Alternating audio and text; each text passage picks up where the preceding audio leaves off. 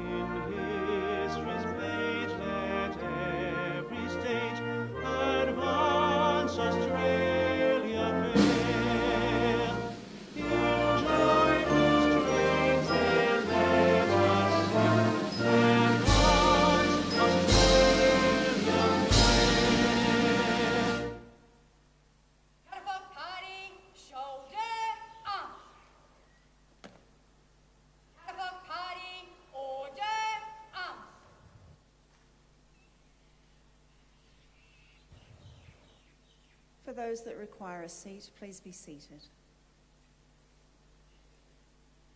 The Australian War Memorial was the vision of Charles Bean, Australia's First World War official historian. Bean landed with the Australian troops on Gallipoli and stayed with them at the front through to the end of the war. The idea of this national memorial and museum came to him at Pozières in the depths of the bloody fighting of 1916. Bean's idea was that this would be a place where families and friends could mourn loved ones buried in faraway places. It would also be a place that could help all Australians understand what these men and women had endured and what they had done for us. Bean's vision, to which we remain true, is best expressed as inscribed in the entrance to the memorial's galleries. Here is their spirit, in the heart of the land they loved, and here we guard the record which they themselves made. Tonight we will read the story behind just one of those on the Roll of Honour, which lists the names of more than 102,000 men and women who have given their lives for us in war and operations for more than a century. But first we present a lament, Flowers of the Forest. Wreaths and floral tributes will now be laid at the base of the pool of reflection.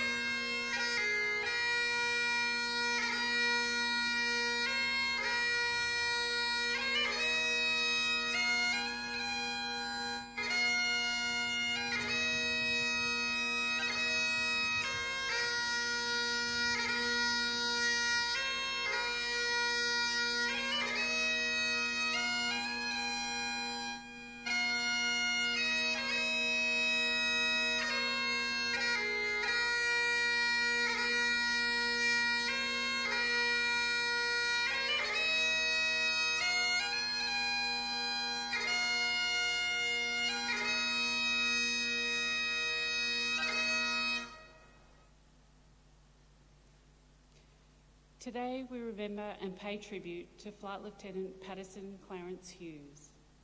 Paterson Hughes, known as Pat, was born on the 19th of September 1917 at Numeralla near Cooma in New South Wales, the 11th of 12 children of Patterson and Caroline Hughes.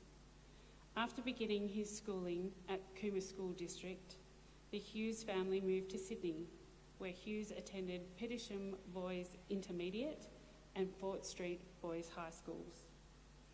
After working briefly as a cost clerk with the jewellers Saunders Limited, in January 1936 he joined the Royal Australian Air Force.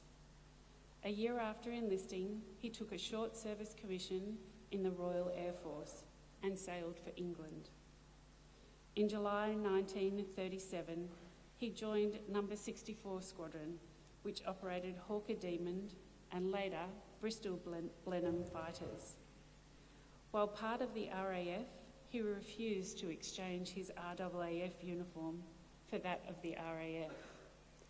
In November 1939, Hughes was promoted to acting flight lieutenant and posted to number 234 Squadron as a flight commander flying Supermarine Spitfires.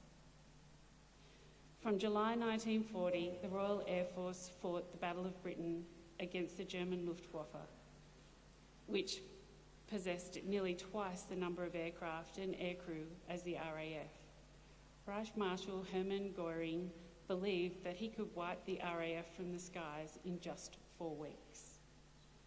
A British and German aircraft clashed.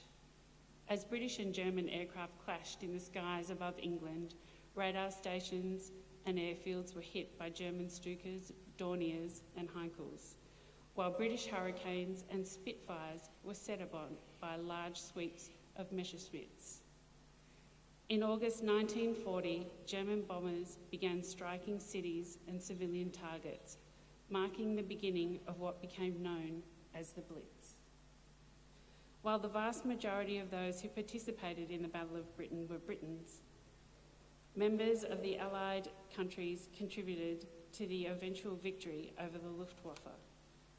Pilots from New Zealand, Canada, India, South Africa, Rhodesia, Jamaica, the British Mandate of Palestine all flew aerial operations during the battle, as did French, Belgian, and Czechoslovakian aircrew. Australians flew combat operations during the Battle of Britain, while others flew during the battle with Bomber Command and Coastal Command. Eight Australians became air aces by shooting down five or more enemy aircraft, and then 10 were killed in action. As the Battle of Britain got underway in July 1940, Paterson Hughes shared in number 234 Squadron's first confirmed aerial victories. On the 8th of July, he led three Spitfires which shot down a lone Junkers 88. He and his section destroyed another on the 28th. While temporarily detached to help in organising number 247 Squadron, he took advantage of the break to marry his English fiancée, Kathleen Agnes Broderick, in Cornwall.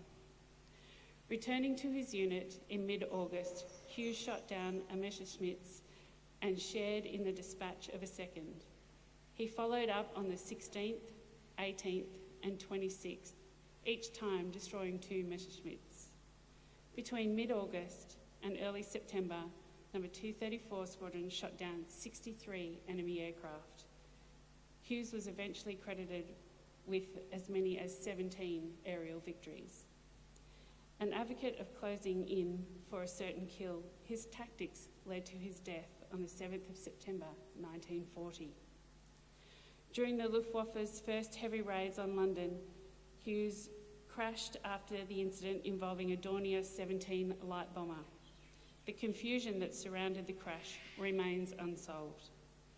It is unknown whether he collided with the aircraft, was struck by debris from the exploding bomber, or flew into the firing line of a hurricane attacking the same target.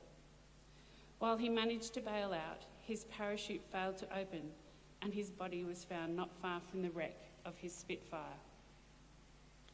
Four days after his death, Number 234 Squadron was moved to a quieter sector. Paterson Hughes was buried in St James's Churchyard in Hull. He was posthumously awarded the Distinguished Flying Cross for his skill and determination as a flight commander and gallantry in his attacks on the enemy. These awards and Hughes' service medals were donated to the Australian War Memorial in 1990. Paterson Hughes' name is listed on the honour roll on my left, among almost 40,000 Australians who died while serving in the Second World War. His photograph is displayed today beside the pool of reflection. This is but one of the many stories of service and sacrifice told here at the Australian War Memorial. We now remember Flight Lieutenant Paterson Clarence Hughes, who gave his life for us, for our freedoms, and in the hope of a better world.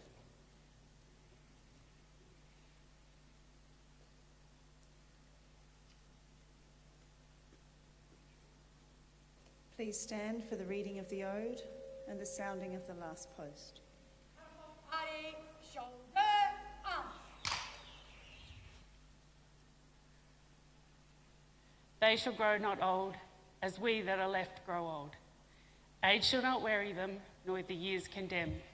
At the going down of the sun, and in the morning, we will remember them. We will remember them.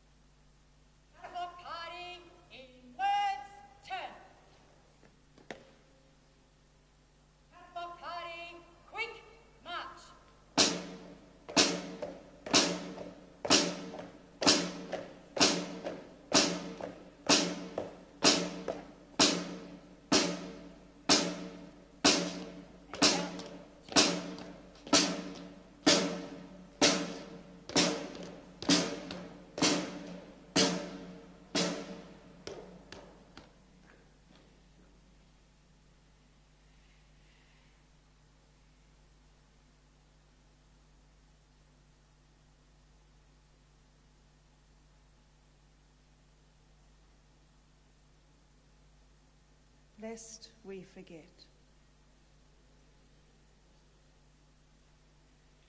We leave you this evening with the words of the memorial's founder, Charles Bean. Many a man lying out there at Pozières and the low scrub at Gallipoli, with his poor, tired senses barely working through the fever of his brain, has thought in his last moments, well, well, it's over. But in Australia they will be proud of this. Ladies and gentlemen, girls and boys, that concludes the last post ceremony. We thank you all for visiting the Australian War Memorial and we wish you all a very good evening. Thank you.